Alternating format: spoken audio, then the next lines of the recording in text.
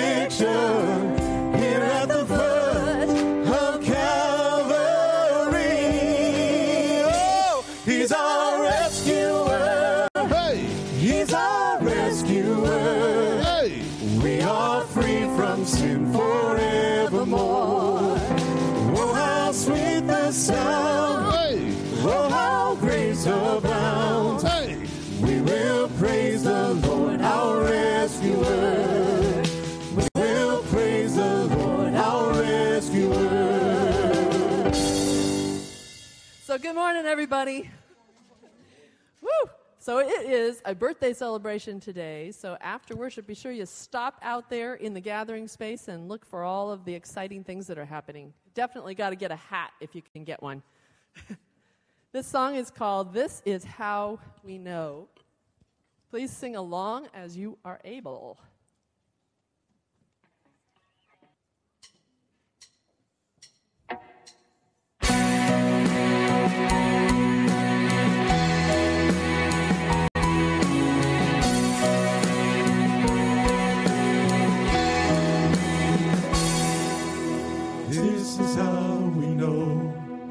This is how we know what love is. Just one look at your cross. And this is where we see, this is where we see how love works. For you surrendered your all.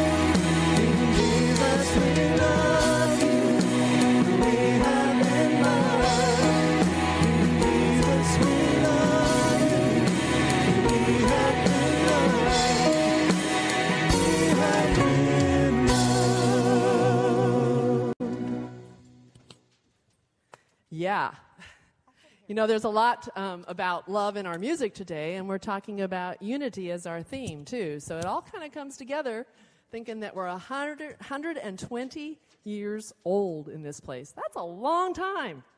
I don't know how many of you guys were here for our 100th anniversary. Do you remember that? Anybody remember the 100th anniversary? Yeah, we had a great big celebration for that over at the Zembo Mosque. Had a dinner party and everything. It was very fun. Maybe we'll do that at 150. Meet me there. Meet me there when we're 150. Hold us together. Please sing along.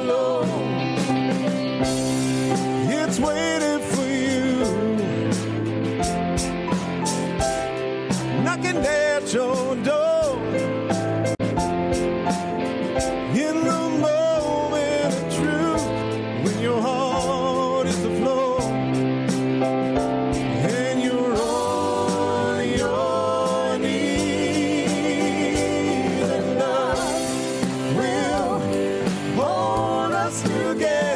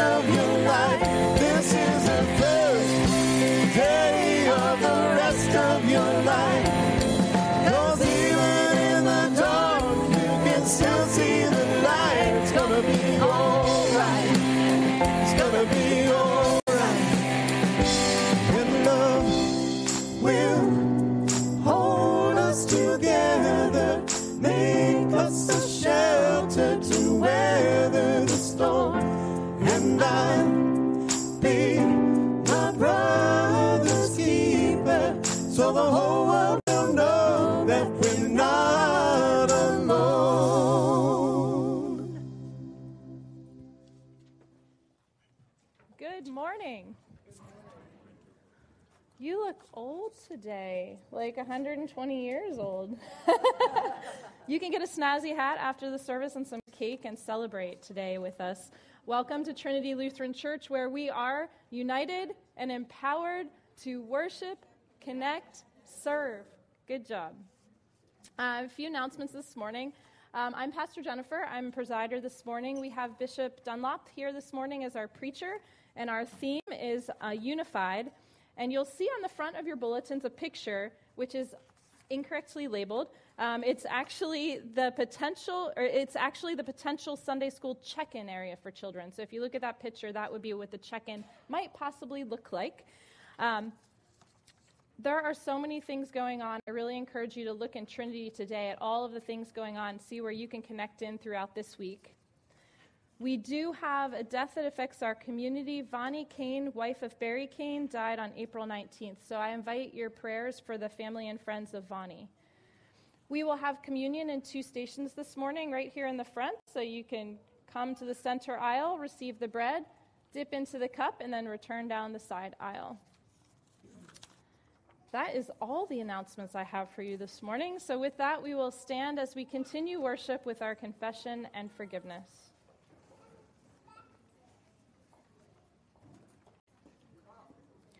Blessed be the Holy Trinity, one God, who forgives all our sin, whose mercy endures forever. Amen. Almighty God, to whom all hearts are open, all desires known, and from whom no secrets are hid, cleanse the thoughts of our hearts by the inspiration of your Holy Spirit, that we may perfectly love you and worthily magnify your holy name, through Jesus Christ our Lord. Amen.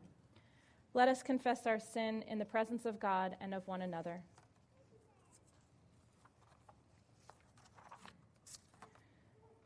Gracious God, have mercy on us. We confess that we have turned from you and given ourselves into the power of sin. We are truly sorry and humbly repent. In your compassion, forgive our sins, known and unknown, things we have done and things we have failed to do. Turn us again to you and uphold us by your Spirit, so that we may live and serve you in the newness of life through Jesus Christ, our Savior and Lord. Amen. God, who is rich in mercy, loved us even when we were dead to sin and made us alive together in Christ. By grace, you have been saved. In the name of Jesus Christ, your sins are forgiven Almighty God, strengthen you with power through the Holy Spirit, that Christ may live in your hearts through faith. Amen. Rejoice and be glad. Christ is risen. He is risen indeed. Alleluia. Let us pray. O Lord Christ, good shepherd of the sheep, you seek the lost and guide us into your fold. Feed us, and we shall be satisfied. Heal us, and we shall be made whole. Make us one with you, for you live and reign with the Father and the Holy Spirit, one God now and forever. Amen. Please be seated for the word.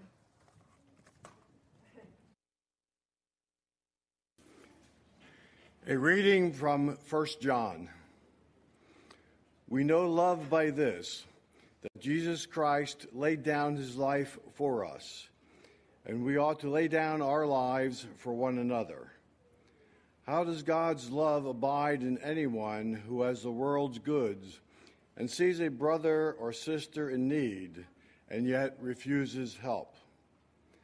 Little children, let us love not in word or speech, but in truth and action. And by this we will know that we are from the truth and will reassure our hearts before Him whenever our hearts condemn us. For God is greater than our hearts, and He knows everything. Beloved, if our hearts do not condemn us, we have boldness before God, and we, we receive from Him whatever we ask, because we obey His commandments and do what pleases Him. And this is His commandment that we should believe in the name of His Son, Jesus Christ, and love one another, just as He has commanded us. All who obey his commandments abide in him, and he abides in them. And by this we know that he abides in us, by the Spirit that he has given us. The word of the Lord. The children are invited to come up for a story. Do you know what the, the balloons and the hat is about? Did you hear the announcement? A party for who? For the church. And how old is this church? You got it. Older than anyone here, huh? There's nobody here that came to that first church service 120 years ago. They're all in heaven. The name of my story this morning is Velcro. Do you know what Velcro is? You know, it's on your shoes to, that makes them grip together. Yes. Today is today is about love and shepherds who come to our rescue. Mr. Mwakasanga and Uncle Floyd both really love their children, of course, and so they have secretly planned a su- surprise trip to Philadelphia yesterday to see the Phillies baseball game.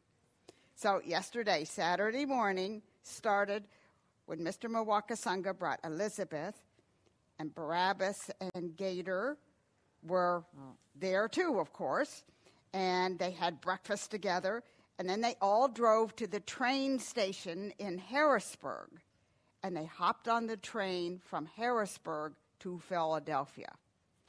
Barabbas and Elizabeth and Gator have never ridden on a train before, have you? A big locomotive train. And so they were very excited. And the three of them sat in one row of seats, and then the grown ups sat right behind them. It was fun to see at the crossings to look out the window, and when they go past a, a road, the, the, gate would come down and the bell would ring, and they'd see all the traffic, all the cars there waiting for the train to go past. But it was a little bit confusing when they arrived at the 30th Street station and got off the train with the huge crowd of people there. And Mr. Mwaka sa- Mr. Said, be like Velcro. Everyone stick together. And they did fine. But then it happened. When they were getting on the subway to go to the stadium, they got separated. Uncle Floyd had said, I reckon this is our train. But then Mr. Mwaka said, No, no, no, it, it's the next train. But when they had said this, Barabbas and Elizabeth had already hopped onto the subway train. And in the split second before the doors closed, at that very moment, Gator saw that Uncle Floyd and Mr. Mwakasanga hadn't noticed they got on because they were checking their phones to make, the make sure of the schedule, and the doors on the train were about to close. Now, Gator, being in sixth grade, knows a little bit more about what to do in an emergency than Elizabeth and Barabbas, who were only in second grade. And Gator is very agile. That means he can move quickly and easily. And Gator loves Barabbas and Elizabeth, so he very quickly reacted by jumping onto the train just a second before the doors closed. And the train moved out of the station. When Elizabeth looked around the crowded train and saw that neither her father or Uncle Floyd were on the train, she cried out loud and Barabbas looked like he was about to cry. They were very frightened. And to tell the truth, Gator was frightened too. He knew he had jumped onto the train to help, so he did not cry. And in a situation like this, being an alligator on the floor, it's very difficult to see. All you can see are people's shoes. So Gator stood up on his hind legs so that he could see better. This is very hard, even for an agile alligator. He looked around the crowded car and he saw a police officer up ahead. In fact, the police officer had already heard Elizabeth crying and was already walking toward them. Isn't it funny how all potato head policemen look like Officer Spud, but this isn't Officer Spud, not in Philadelphia. Gator asked the officer to call Uncle Floyd's cell phone, And they three, then the three of them planned to get off at the next station. The police officer would stay with them until they got off the train. And then very soon, Mr. Mwakasanga and Uncle Floyd were there with them. And they were all together, and they were very happy to all be together. Thank you so much, Gator. Thank you so much. You have saved the day. And Mr. Mawaka Mwakasanga really meant it. And as scary as that was, they still had a terrific time at the ball game. And in case you haven't heard, the Phillies won over the Pirates 6 to 2. But for the rest of the day, they really did stick together like Velcro. Love is sort of like Velcro, stick together. Sometimes the shepherd shows up in an unexpected form. Thanks, Gator. The end.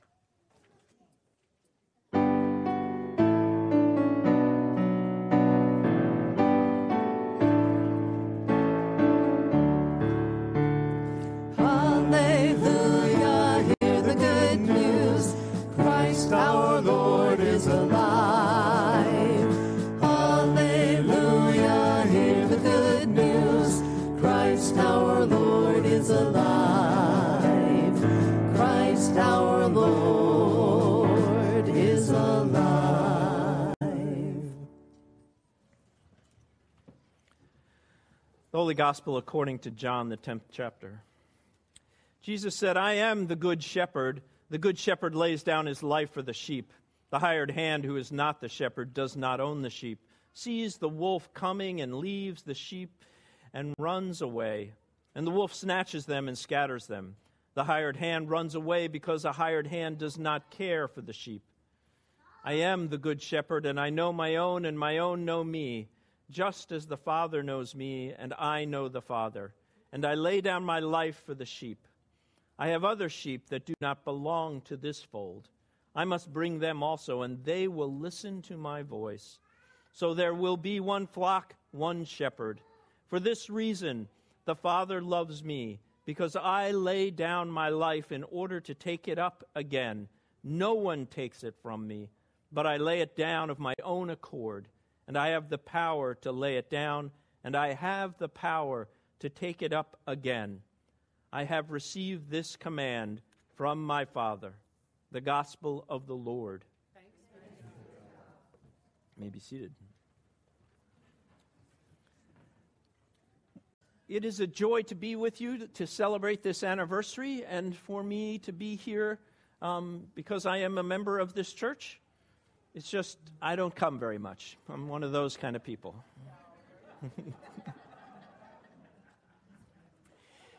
You know, sometimes I just can't help it. I just see things in relationship to business because that was my background. I was called into the ministry about 17 years ago, but I left the business background behind. But yet, I'm really fascinated by things that happen in business, and so I pay close attention to the business news. And one of the reasons that I do this is because I think you can really get an understanding of our culture and the nature of who we are as human beings by watching how we behave in an open marketplace. And whether it's a giant corporation or the hot dog vendor on the street in the corner of Philadelphia, you can kind of see how all of these things go. We understand perhaps then how the world functions when we pay attention to how it is we're in the marketplace, which all of us participate all the time. And sometimes I think business concepts kind of have a bearing on our understanding of life and perhaps even our faith. For example, there was a book written in 1994 um, by C.K. Prahalad and Gary Hamel. The book was called Competing for the Future, and in it they introduced the idea of core competencies. They said that really successful enterprises always have identified core competencies, and these things were things that provide benefit to the customer. They're really difficult to imitate. They create lots of new things. They're unique to this group of people, this company, And they're difficult to pin down because it's a kind of combination of things coming together. So if you look at successful enterprises, you will find that they have some core competencies that they bring into the marketplace that other people can't or don't. Apple Computer is one of the largest companies in the world. And what do you think their core competency is? And you might say it's technology and building computers, but that's not quite it. Because there are lots of companies that build computers and know how to use technology. Their competency is they make technology easy to use with elegant design. And so their products outsell other people's products because they're simply easy to use. And that's it. And customers love them, and it's incredibly difficult to imitate. And they use this skill on lots of things. So they build computers, and they build tablets, and they build phones, and they build watches, and all kinds of things on this kind of competency. And they consistently do that. And it's not just design, or it's not just technology, or branding, or advertisement, or innovation. It's all that stuff coming together into who they are. Think about FedEx. They have planes and trucks, but the truth is, they move stuff fast. Or think about Disney. They tell great stories. Whether it's a Broadway play, or a movie, or a roller coaster ride, they tell great stories. And the people that work there, this is what unifies them together. So, why am I giving you a lecture on business this morning? Well, because when I read that letter from First John, this is what popped into my head. This is the church's core competency when it started in that reading with these words, we know love by this, that he laid down his life for us, and that we ought to lay down our lives for one another. That we're willing to die for one another, is that the core competency? No, I think that's an expression of what our core is.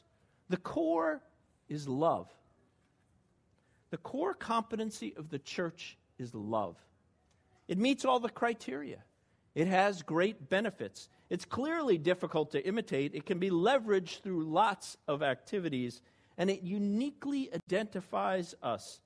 And it's difficult to pin down because it's a combination of things that occur.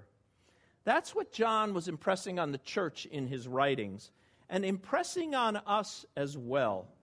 The unconditional love of God's grace that we as the church have come to understand through Jesus Christ our Lord, particularly through the death and the resurrection of Jesus.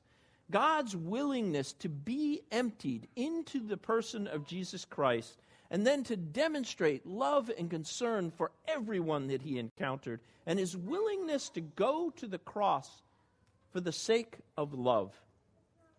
The depth of this gift reveals the gravity of the demands. And the depth of this love is for every one of God's children, every one of us. Now, in business, when you identify a core competency, it only matters if you do something with it.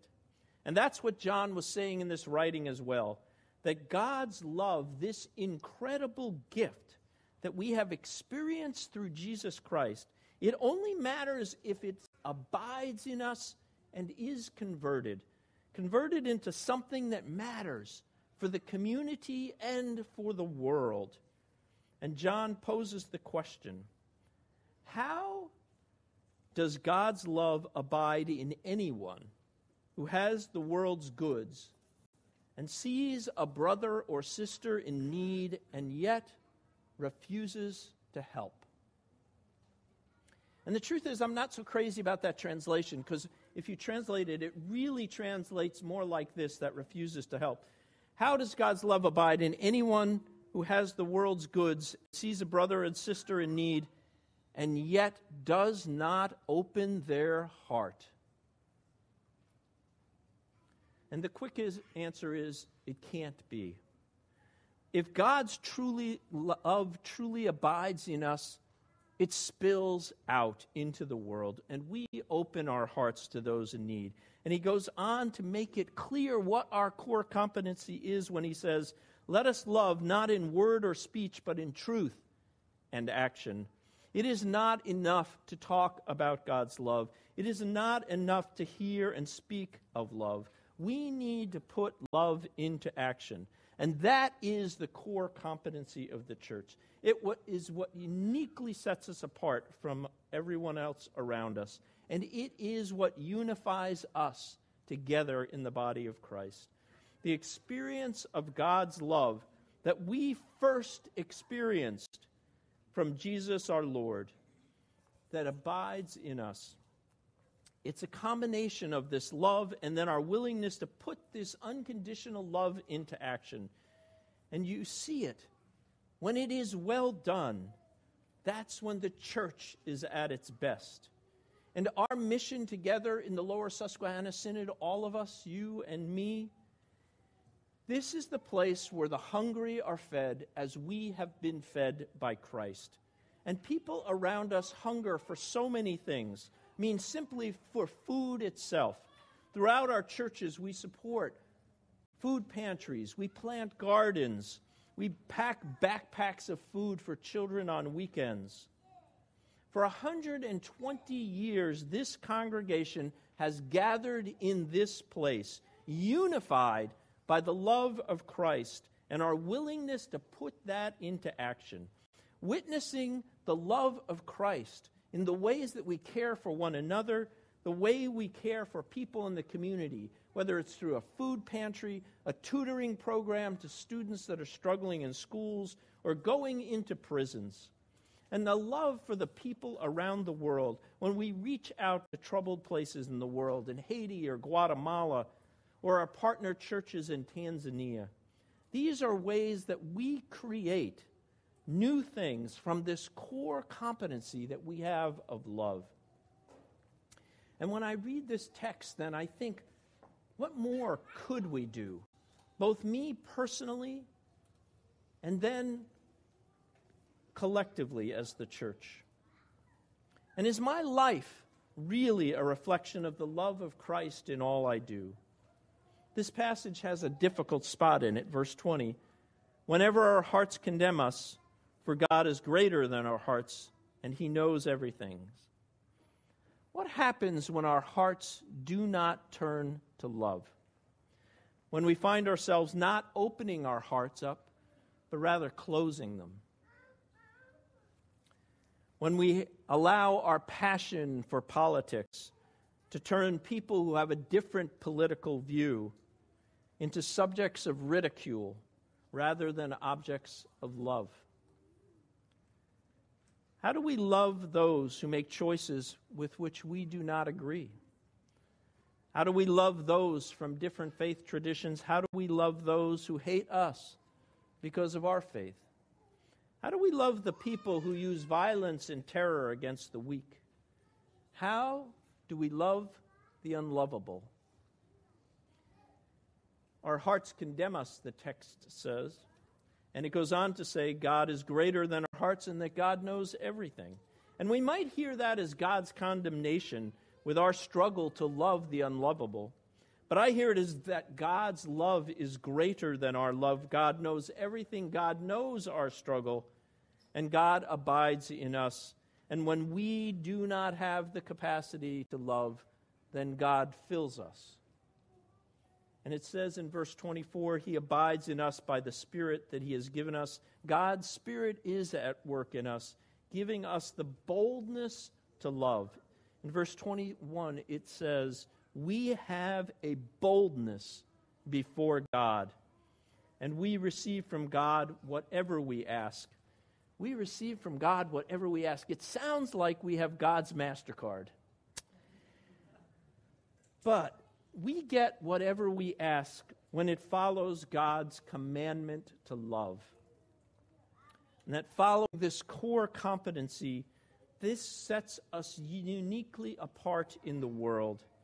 And, it, it, we, and we wonder then, who is it that we can boldly bring this love to?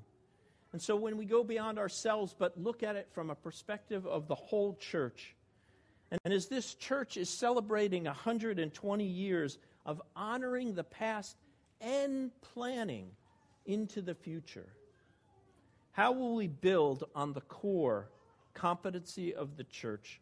Who is it that we will boldly bring love to? As bishop, I'm in churches a good bit of the time. In fact, I get invited for anniversaries a lot.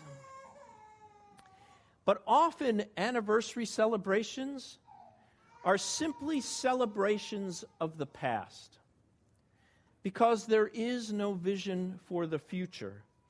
And the world around the church is changing all the time. In the last 10 years, the membership of the Lower Susquehanna Synod has dropped by 25%, and the worship attendance has dropped by 30%. Why?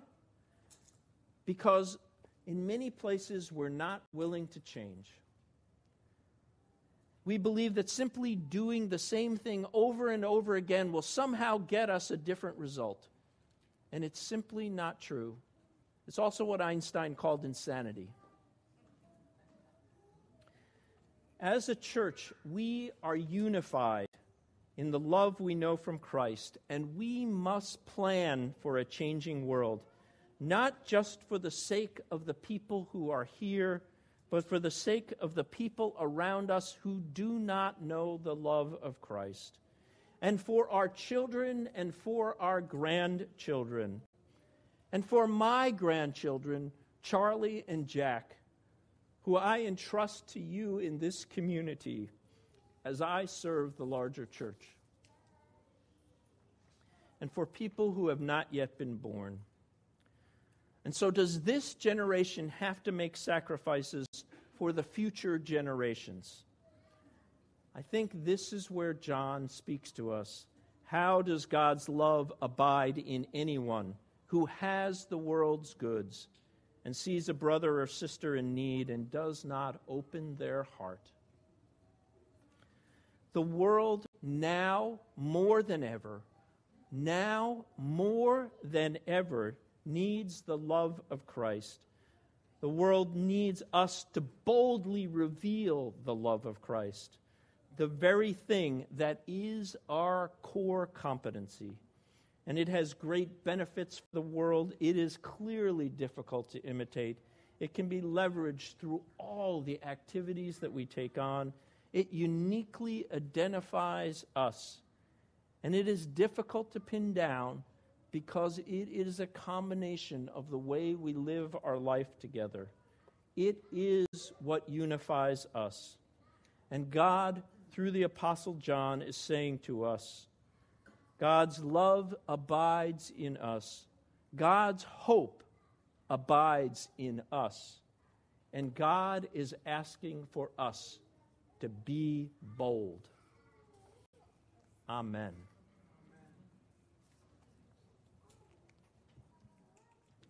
I invite you to stand as you are able as we profess our faith in the words of the Nicene Creed. We believe in one God, the Father, the Almighty, maker of heaven and earth, of all that is, seen and unseen. We believe in one Lord, Jesus Christ, the only Son of God, eternally begotten of the Father, God from God, light from light, true God from true God, begotten, not made, one being with the Father. Through him all things were made. For us and for our salvation, he came down from heaven, was incarnate of the Holy Spirit and the Virgin Mary, and became truly human. For our sake, he was crucified under Pontius Pilate. He suffered death and was buried. On the third day, he rose again in accordance with the Scriptures. He ascended into heaven and is seated at the right hand of the Father. He will come again in glory to judge the living and the dead, and his kingdom will have no end. We believe in the Holy Spirit, the Lord, the giver of life, who proceeds from the Father and the Son, who with the Father and Son is worshiped and glorified, who has spoken through the prophets. We believe in one holy Catholic and Apostolic Church. We acknowledge one baptism for the forgiveness of sins. We look for the resurrection of the dead and the life of the world to come. Amen. Rejoicing in the life, death, and resurrection of Jesus Christ, we pray for the witness of the church, the wholeness of creation, and for all who are in need. We give you thanks, O God, for this congregation, for 120 years of ministry, of sharing the gospel, and of reaching out in your name. We humbly ask that you continue to bless Trinity Congregation, that we might go forth in your name to all whom we encounter. Lord, in your mercy, hear our prayer. Gracious God, restore natural environments damaged by fires, floods, earthquakes, or other disasters, either human or nature. We pray for river valleys and grassy plains, coral reefs and Arctic ice, mountains, deserts, and marshlands. Lord, in your mercy, hear our prayer. Healing, God, give to all who wrestle with illness of heart, body, mind, or spirit the peace you promise that is deeper and richer than anything we can imagine. We pray for all who live with chronic pain, who live with anxiety, and who are ill or hospitalized, as we lift before you Bob Telford, Donald Dietz, Peggy Hofer, Jeff McBride, Jack Geistwhite, Marcy Centaur, J.B. Smith, and all those we now name in our hearts or on our lips. Lord, in your mercy, hear our prayer. Gathering, God, we pray for our neighborhoods, for the people with whom we work, for those who are different and those unknown to us. We also pray for our Trinity sisters and brothers, James and Brenda Ritter, Helga Rist, Michael, Gail, Andrew, Colton, and Sarah Riska, Mike and Jane Ripton, Gary, Bridget, Logan, Anya, Nicholas, Anastasia, and Anthony Rini, Wanda Riley, Richard Richardson, and Alicia Richards. Lord, in your mercy, hear our prayer. God, nourish us with the testimony of all the disciples who have gone before us. We give thanks today for Vonnie Kane and for all the faithful departed and their witness in every age. Lord, in your mercy, hear our prayer. We entrust all our prayers to you, gracious God. Receive them by the power of the Holy Spirit and the love of your Son, Jesus Christ, our Lord. Amen. The peace of the Lord be with you always. Please offer your neighbor a sign of peace.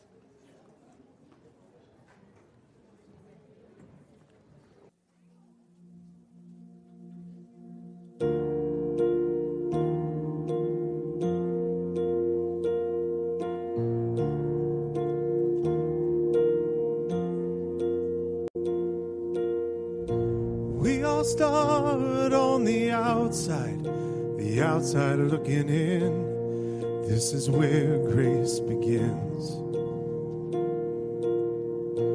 We were hungry, we were thirsty, with nothing left to give, or the shape that we were in. Just when all hope seemed lost, love opened the door said, Come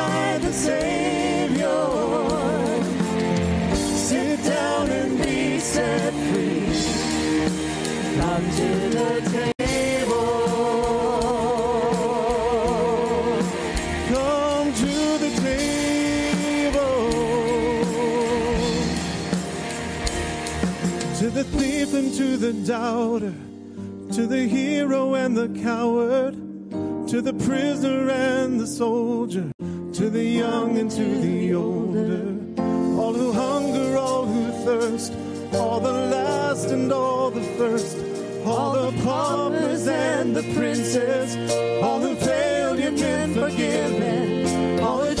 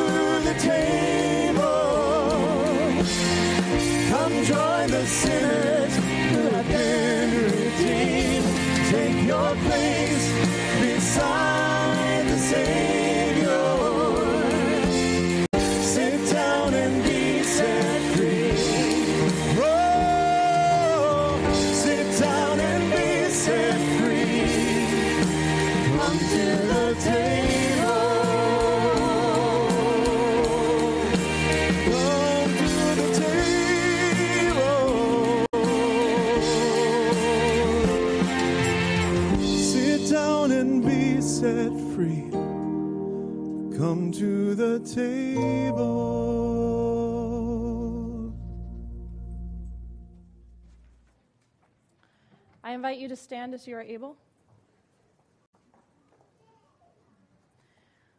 Let us pray. Be known to us, O Lord, in the breaking of bread, as you are made known to the disciples.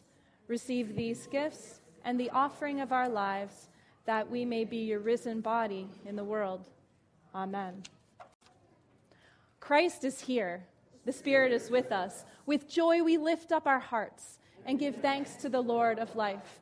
Holy God, we praise you for rolling away the stone, for emptying the tomb, and for raising your Son, Jesus Christ, from the dead. Through his love, we receive healing and the forgiveness of our sins. Through his resurrection, we receive the promise of new life, both now and in the kingdom to come. In the night in which he was betrayed, our Lord Jesus took bread, gave thanks, broke it, and gave it to his disciples, saying, Take and eat. This is my body given for you. Do this for the remembrance of me. Again, after supper, he took the cup, gave thanks, and gave it for all to drink, saying, This cup is the new covenant in my blood, shed for you and for all people for the forgiveness of sin. Do this for the remembrance of me. Remembering his command, we gather together in fellowship, celebrating all he has done. Strengthen us through this meal as we await the day Jesus Christ will come again. By the power of the Holy Spirit, make us witnesses of our Lord's resurrection and proclaimers of his name for the sake of the world you created. To you, O God, Father, Son, and Holy Spirit, be the glory forever. Amen. Our Father, hallowed be your name. Your kingdom come, your will be done, on earth as in heaven. Give us today our daily bread. Forgive us our sins as we forgive those who sin against us. Save us from the time of trial and deliver us from evil.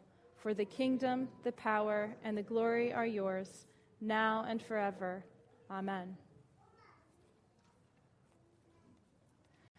Come to the banquet, for all is now ready. Fill us, Lord, with good things.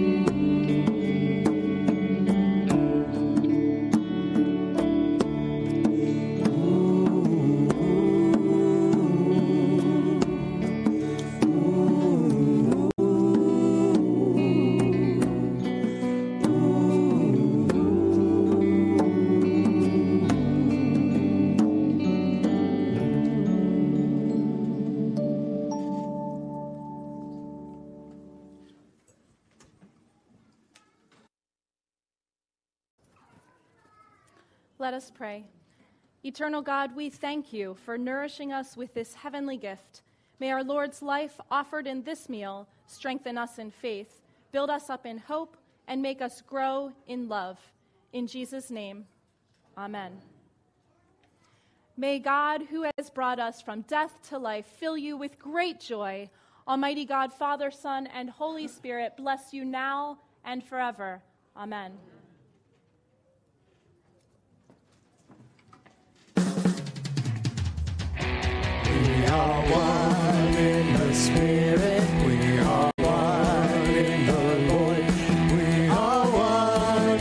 Spirit.